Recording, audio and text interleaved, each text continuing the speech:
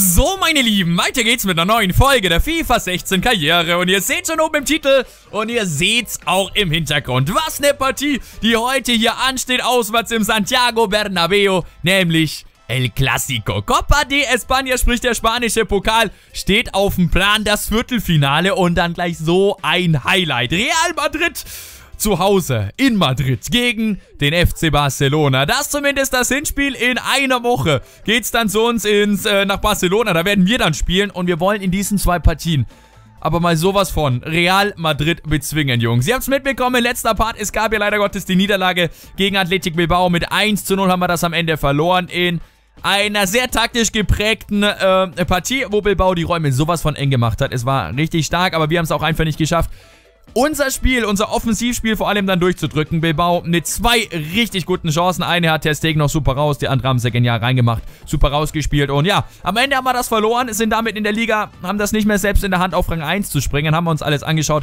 Aber heute geht es auch nicht um die Liga, sondern heute geht es wie gesagt um den Pokal. Und wir gehen mit ein paar Blessuren rein, wenn man so will, in dieses Spiel. Denn ihr seht, es sind nicht alle fit. Wir sind mit der Top 11 in die Partie gegen Bilbao, weil wir die unbedingt gewinnen wollten, haben das nicht geschafft und haben jetzt zwei Probleme, nämlich die Niederlage und nicht fitte Spieler. Also viel behinderter geht's einfach nicht mehr. Aber gut, das war so am Rande. Ich würde sagen, wenn es euch wieder gefällt, lasst gerne einen Daumen nach oben da. Da würde ich mich sehr drüber freuen. Wenn ihr mehr wissen wollt, lasst ein Abo da und verpasst nichts. Und diesmal machen wir ganz, ganz unterschiedliche Trikots, damit wir es auch komplett unterscheiden können. Werden auch hier, das haben wir in der Darmstadt-Karriere schon mal angesprochen, das Gestöbe ausspielen, ähm, machen hier, das ist mir Wumpe heiter von mir aus, es ist eh 22 Uhr.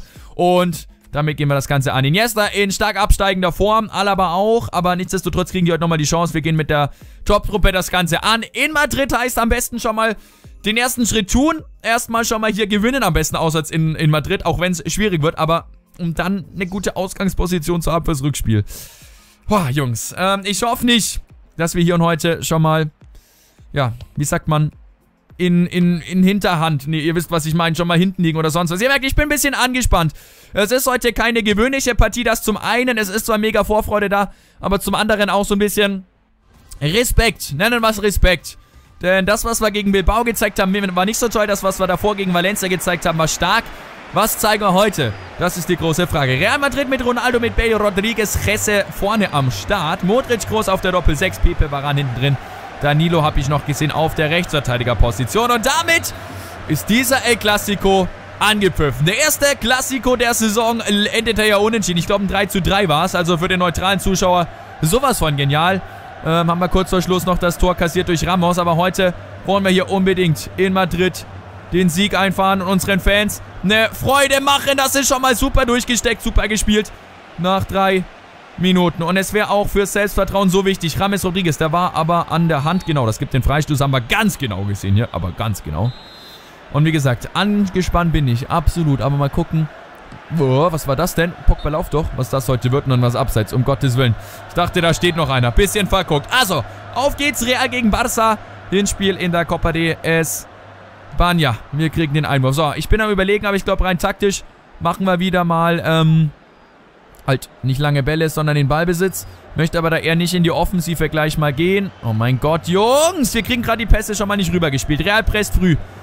Unfassbar. Ähm, stark gemacht. Komm, gegen Groß. Den musst du dir holen. Meine Güte, wir kommen nicht hin. Wir sind noch nicht ganz auf der Höhe, oder? So kommt es mir vor. Ronaldo. Der Stegen. Gut gemacht. Ähm, nee, aber ich traue mich da nicht auf offensiv ranzugehen. Dazu hat äh, Real in der Offensive einfach zu brutale Spieler, muss man so sagen. Da bleiben wir lieber erstmal ausgeglichen. Da Nilo mit der Flanke. Ronaldo Piquet. Ganz stark von Piquet. Alaba. Guter Ball. Iniesta. Och, der, den wollte ich gar nicht so. Den wollte ich nicht so. Das war mein Fehler. Schade. Da wäre ein bisschen mehr drin gewesen. Varan. Mal gucken, wer das Spiel hier macht. Ich denke, Real wird da wieder ein bisschen mehr tun. Wir werden uns eher sicherlich auch auf das Spiel, aber auch auf ein paar Konter konzentrieren. Gut, gegen Ronaldo von Dani Alves. Ganz, ganz wichtig, da Ronaldo früh zu zeigen, wer derjenige ist, der hier heute das Sagen hat. Suarez kommt nicht durch. Schade. Marcelo wieder dazwischen. Ah, so Jungs. Was ist hier und heute drin? gegen Real. In welcher Verfassung befinden wir uns? Ich weiß es nicht. Es ist mit dem FC Barcelona ein... Oh mein Gott. Weg. Oh, gerade noch gut geklärt. Es ist so ein bisschen immer ein Auf und Ab bei uns noch. Da müssen wir mehr äh, Kontinu Kontinuität reinbringen. Gut von Pogba, aber Ball ist wieder weg. Da ist Pepe. Nach unten gespielt. Danilo. Oh mein Gott, Gretscher geht ins Leere und dann holt den Testegen raus. Boah, ganz tief durchlaufen. 19. Minute. Richtig gute Möglichkeit dafür Real. Toni Kroos steht bereit, wird den Eckball gleich gefährlich in die Mitte bringen. Der Stegen muss den abfangen. Der Stegen hat den. Und der Stegen sieht vor allem Luis Suarez. Das ist gut gespielt. Jetzt der Seitenwechsel. Pogba. Geiler Ball, der ist auch drin. Und Messi kann anschieben. Messi zum ersten Mal in Aktion im Klassiko. Messi Kommt er nicht ganz durch. Toni Kroos stellt den Körper rein, kann dann erstmal hoch und mal klären. Schade. Also Messi, das erste Mal da, wird so langsam warm. Ronaldo führt den Ball ins Aus, gibt den Einwurf. 3 und 20 Minuten sind gespielt, Jungs. Tief durchschnaufen. Rakitic macht das gut. Holt sich da die Lücke. Pogba sieht Suarez, der ist durch. Suarez! Suarez! Garcia lenkt ihn an den Außenpfosten. Die beste Möglichkeit bis dato in der Partie. Gut entschärft vom madrilenischen Keeper. Ecke kommt falsch. Ecke kommt nicht gut, aber Real kann da auch nicht wirklich perfekt klären. Uiuiuiui, solche Dinger müssen halt reingehen. Solche Dinger müssen rein. Neymar. Aber weiter dranbleiben. Rakitic. Guter Ball. Pogba! Wieder Garcia. Nächste Jobchance, Freunde. 28. Minute. Wir machen das jetzt gar nicht so schlecht in dieser Drangphase. Gute Ecke. Pogba kommt er hin, kommt er nicht. Bale rennt hinterher und Messi rennt drauf und Bale ist letztendlich sozusagen der Gewinner. Kommt da über die Seite. Oh, schade. Mann, Mann, Mann, was eine Situation jetzt hier. Also da hätte einer reingehen können. Das wäre zu schön gewesen. Pogba, aber Real macht den nächsten Fehler. Und wir sind damit echt... Ah, schade. In so einer kleinen Drangphase wollte ich sagen, aber... Schon ist der Ball wieder weg. Gut von Rakitic. Der kann sich nicht gegen Bale durchsetzen, obwohl er die bessere Ausgangsposition hatte. Gut Neymar. Gut Neymar. Gut Neymar. Rakitic. Schau mal, sucht Messi. Findet vielleicht Suarez. Findet er auch nicht Kassier dazwischen. Jungs, ähm, beide Mannschaften haben aus diesem verrückten Ligaspiel, aus dem verrückten Liga-Klassiko so ein bisschen gelernt. Gehen ja nicht mehr so die volle Offensive auf volle Power, sondern schauen auch erstmal, dass hinten das ganze, der ganze Laden dicht ist. Ganz klar, Resse Rodriguez. Kommt da drauf, Resse vernascht uns da so ein wenig. Rakitic. Dani Alves. Was macht Dani Alves? Wie lange braucht der denn da bitte? Ronaldo. Ter Stegen, vorerst da. Riesenpatzer Ter Stegen. Gott sei Dank hat den Riesenpatzer von Dani Alves. Meine Güte. Kloppt doch einfach die Kulle weg. Da legt er den sich nochmal schön hin. Unfassbar. Gibt die Ecke. 40. Minute. Kurz vor Ende der ersten Halbzeit. Ter Stegen ohne Probleme. Der macht seine Sache gut. Auf den können wir uns absolut verlassen. Neymar nach unten gespielt. Da ist Alaba. Hat so ein bisschen Platz. Alaba wartet auf Suarez, aber der kommt nicht so wirklich mit. Rakitic. Oh, schlechter Ball von mir. Ramis dazwischen. Und da ist wieder Cristiano Ronaldo, der genauso wie Messi bisher blass bleibt.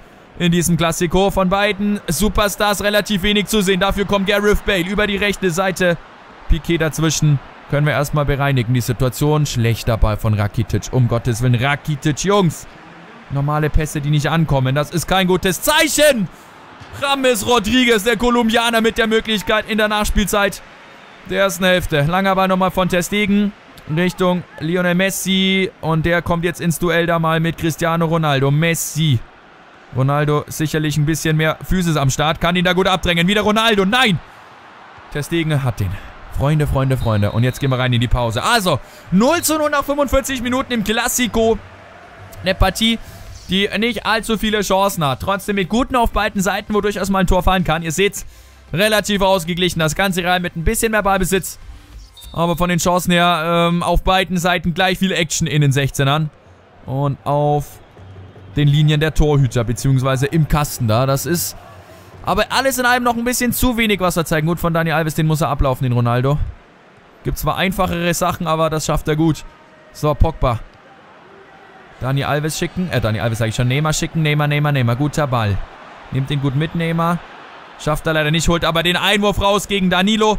Und damit können wir erstmal wieder so ein bisschen nachrutschen, Freunde. So, das ist Alaba. Alaba nochmal. Iniesta! Und dann ist er am Außenposten und dann ist Messi da! 1 zu 0, 51. Minute.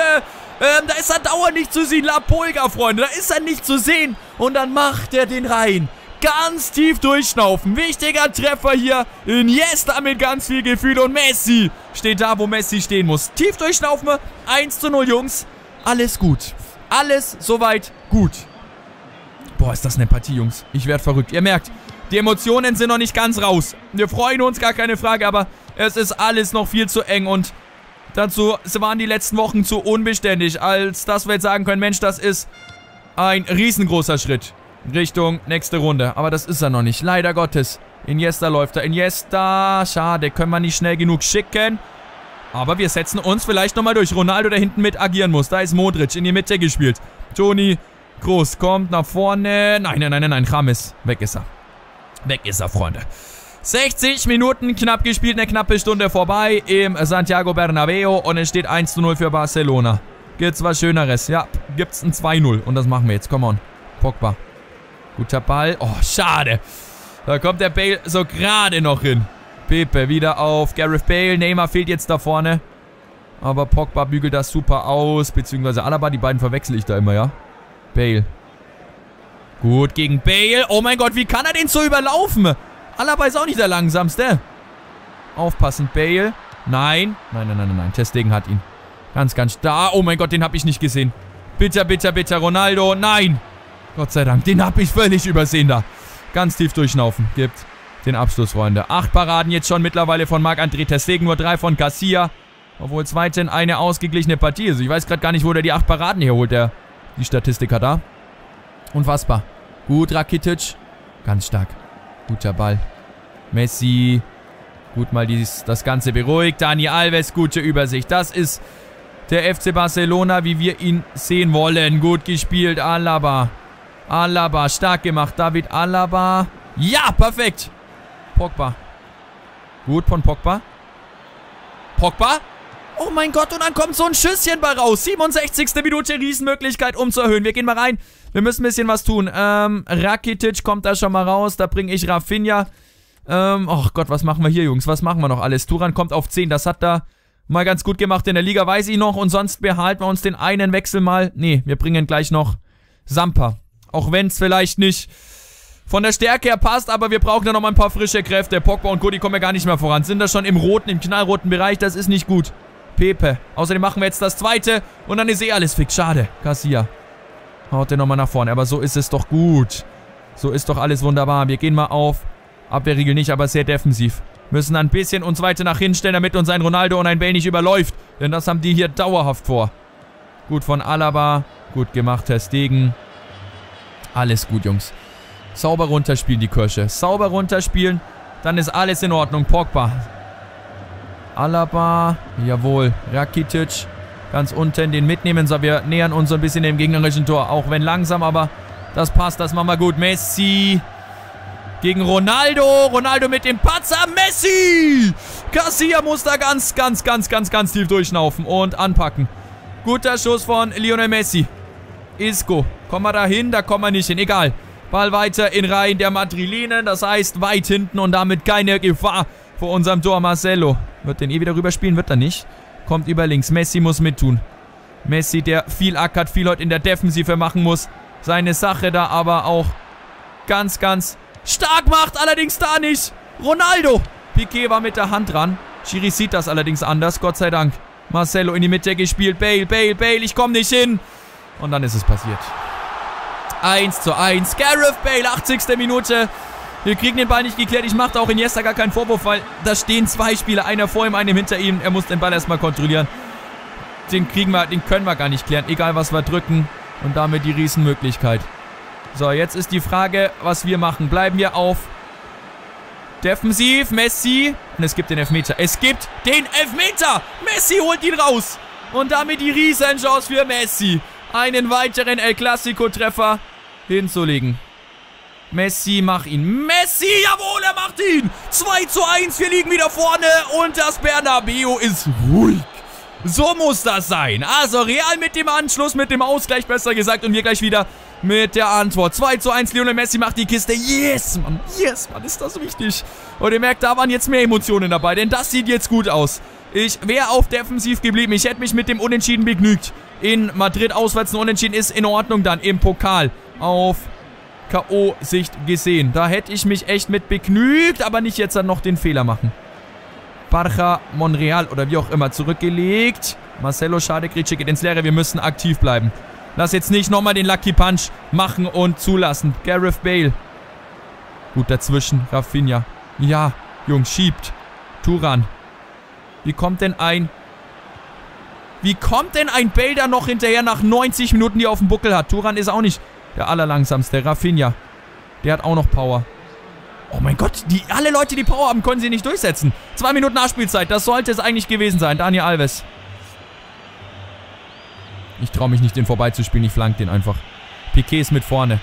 Piquet ist mit vorne. Ich flank den rein. Der kommt gut und der kommt richtig stark. So, nochmal draufschieben, Messi. Komm, zwei Minuten, das hältst du durch. Messi wird zum El Clasico-Helden, ohne dass er mega viel Leute zeigt hier. Aber er hat die wichtigen Aktionen, wie auch hier wieder. Suarez. Suarez. Suarez. Kommt er noch durch? Kommt er nicht? Schiri pfeift immer noch nicht ab. Gib nochmal den Einwurf. Oder pfeift er ab? Er pfeift ab, Freunde. 2 zu 1. Wir besiegen Real Madrid auswärts im El Clasico in der Copa de España. Ganz, ganz wichtiger Sieg. Ganz tief durchschnaufen. Und ich würde sagen, am Ende geht er auch in Ordnung. Sieben Schüsse, sechs aus Tor. Ein bisschen aktiver waren wir. Real, wie man es erwarten konnte, zu Hause, die etwas mehr das Spiel machen als wir. Aber alles halb so wild. Gutes Spiel. Messi mit zwei Toren. Wir haben eine super Voraussetzung für das Rückspiel. Boah, ich muss erstmal ganz tief durchatmen. Was für eine fucking krasse Partie, Freunde. Unfassbar. Unfassbar. Und damit gehen wir ein paar Tage voran. Das Spiel gegen Malaga steht an. Wir schauen mal, ob wir noch irgendwelche News jetzt kriegen. Bezüglich Transfers. Aber es gibt auch keine, keine anderen Vereine, die auf uns zukommen. Das ist das Problem. So, Marc Bartra ähm, will spielen. Ähm, bla bla bla bla bla. Interessiert uns erstmal nicht. So, ähm, was uns jetzt aber ein bisschen interessiert, ist, wie sieht es jetzt aus mit den Finanzen? Können wir da nochmal ein bisschen was regeln? Wie viel können wir denn da gehen? Ich weiß nicht, was ein Mustafi kriegt. Wir machen jetzt mal knapp so. Ist ja egal, wir können es ja auch nochmal machen. Schau mal, ob wir, aber wenn wir Mascherano, beziehungsweise wenn wir Vermalen und Mathieu nicht verkauft bekommen, hat es keinen Sinn. Hat es keinen Sinn, die anderen beiden zu holen, ganz klar. Ich sortiere nochmal. Also, auf der Transferliste ist Mathieu und ist auch Vermalen. Das Einzige, was wir machen können, wäre ein Tauschangebot. Das ist jetzt auch mal das, was ich noch probieren werde in der Folge hier heute. Skodran Mustafi. Hat einen Wert von 23 Millionen. Ich hau jetzt mal... Wen hauen wir drauf? Eher, äh, eher Vermalen, würde ich sagen. Wenn er ein bisschen weniger wert ist. Wo ist er? Hab ich ihn übersehen? Hier ist er. Ganz unnatürlich. Vermalen. 10 Mille ist er wert. 10 Mille und dann biete ich noch... Was machen wir? 30 bis 36. Der ist gerade mal 10 wert. Ich mache jetzt einfach mal 7. Machen wir mal so, oder? Wären 17 Millionen, die wir erstmal sozusagen für Mustafi bieten. Ich glaube, ich mache sogar 6.